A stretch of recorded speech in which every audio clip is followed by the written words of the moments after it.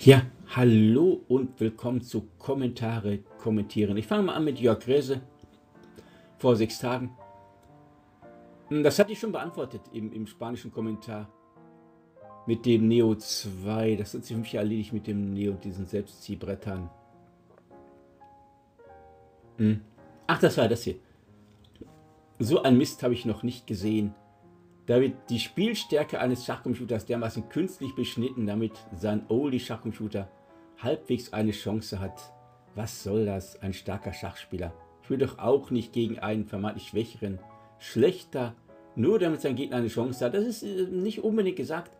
Ich habe nämlich, ähm, wer war es, Anna Kremling gegen den Großmeister und der Großmeister hat, sagen wir mal, ein großzügiges Gambit gespielt mit großzügiger Spielweise, hat die Partie aber da trotzdem gewonnen.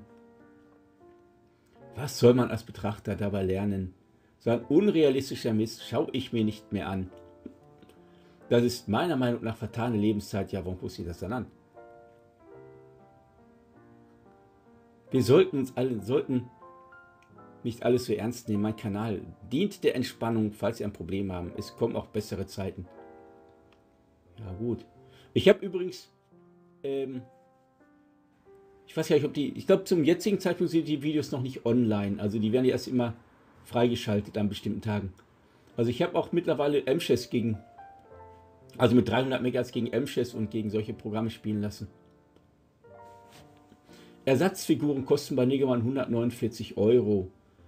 Bretter ohne Figuren habe ich noch nicht gesehen, da ich hier geschrieben. Ähm, die findet man auf der Seite von Millennium. Ich habe gar keinen da hochgegeben, wahrscheinlich weil ich es noch kommentieren wollte. Wie alt wirst du? Zu alt.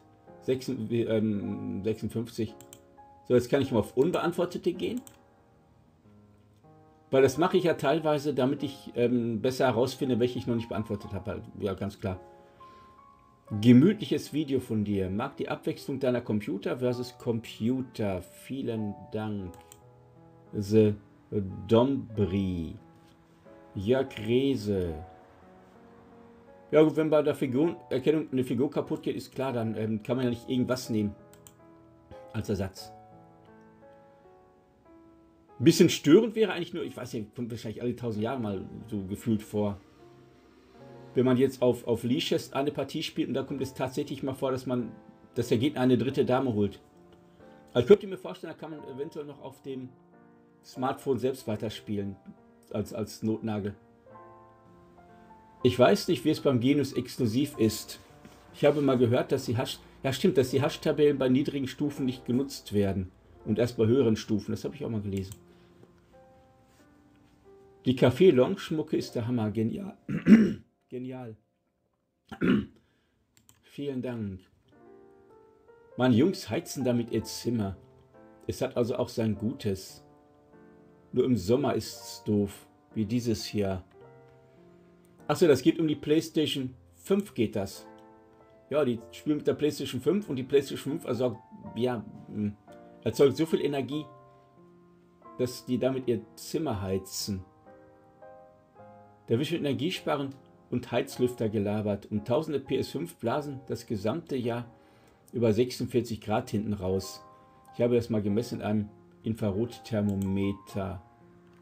Ich glaube, die wäre mir momentan noch zu Strom fressend. Oh, das war schon der letzte Kommentar hier. Was war es? 220 Watt im Spielbetrieb. Das ist mir ein bisschen zu heftig. Außerdem fehlen mir eh die Spiele und verfügbar ist dieser Klapperkasten ja auch nicht. Bei Läufer König, Läufer König kann man, einen, kann man keinen geilen Endspielgewinn erwarten. Ich hatte wenigstens erwartet, dass er Remis macht. Ich hatte ja keinen geilen Endspielgewinn erwartet. Aber ein Remis sollte da wohl drin gewesen sein. Das endet immer im endlosen Figurenrücken.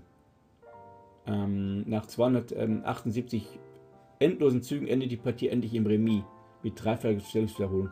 Was ich immer so langweilig finde, ist, wenn das so eine Stellung ist, wo die Bauern so verzahnt sind, dass ähm, der quasi keiner ins Lager des anderen reinkommt. Und dann wird, kommt, fängt das große Brettpolieren an. Das hat der König, der wandert auf sämtlichen Feldern im eigenen Lager hin und her, um bloß keine Zugwiederholung zu machen.